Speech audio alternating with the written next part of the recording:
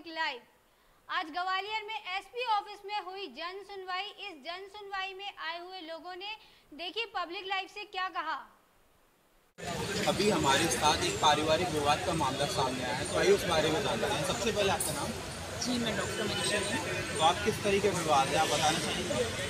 क्या हुआ? कोरोना में हमारे जेठ की शादी हुआ है। पचास साल की तब से उनकी बीवी और उनका बेटा निकल गए हैं उनको बहुत परेशान कर रहा व्यापार नहीं करने देगा ताले डाल दिए हैं। पूरे दस महीने से हमारा व्यापार बंद है। और उसके बाद जैसे तैसे हमने खोल के हम बैठे व्यापार करने तो ग्राहकों को भगाते हैं मारा पिट्टी करते हैं। और अब तो अभी तक तो जेंट्स को मारते थे वो। लेकिन अब उसने मेरे पे भी हाथ उठाया। मेरे को ये चार तारीख की चोट है। भयंकर खूना खून कर दिया। मेरी नस काटने की कोशिश की उसने। मुझे सीढ़ी में गिरा के जान से मारने की कोशिश की। उसकी मम्मी ने, सुषमा ने मेरे को इतना बड़ा पत्थर लेके फेंका। घर के नीचे से निकलते हैं तो ये इतना डर लगा रहता है?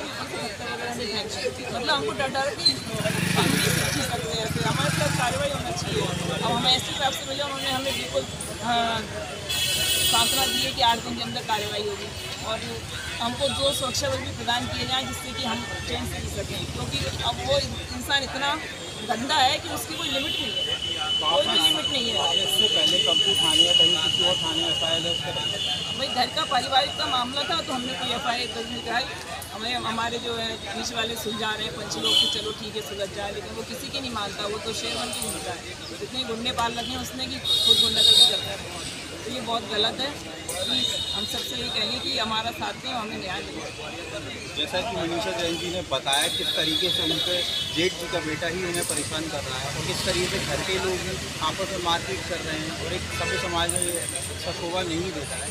कि किस तरीके से घर के लोग आपस में अपनी चाची और चाचा के साथ मारपीट करें और पारिवारिक विवाद से चले तो इस तरह की घटना इनके सामने आ रही है इसमें जैन जैन संपत्ति न्याय चाहते हैं और, प्रशासन से न्याय की गुहार लगा है और आए की अपडेट्स के लिए जुड़े रहिए पब्लिक लाइव अभी हमारे साथ एक पारिवारिक विवाद का मामला सामने आया है तो आइए उस बारे में जानते हैं। सबसे पहले आपका नाम?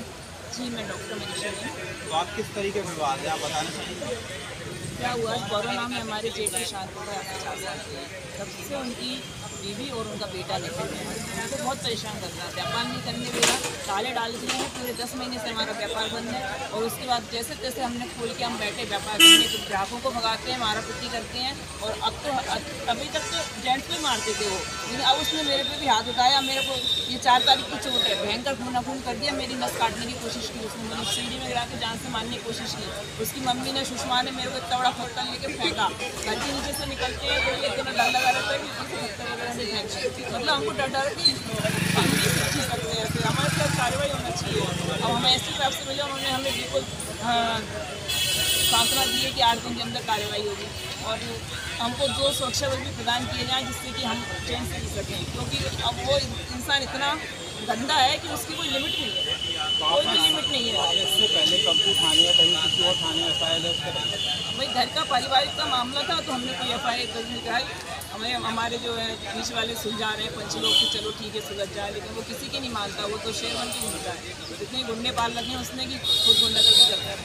तो ये बहुत गलत है कि हम सबसे ये कहेंगे कि हमारा साथ दें हमें न्याय दें जैसा कि मनीषा जैन जी ने बताया किस तरीके से उनके जेठ जी का बेटा ही उन्हें परेशान कर रहा है और किस तरीके से घर के लोग ही आपस में मारपीट कर रहे हैं और एक सभ्य समाज में अच्छा शोभा नहीं देता है। कि किस तरीके से घर के लोग आपस में अपनी चाची और चाचा के साथ मारपीट करें और पारिवारिक विवाद से तो तरह की घटना इनके सामने आ रही है इसमें जैन जैन संपत्ति न्याय चाहते हैं और, प्रशासन से न्याय की गुहार लगा है और आई की अपडेट्स के लिए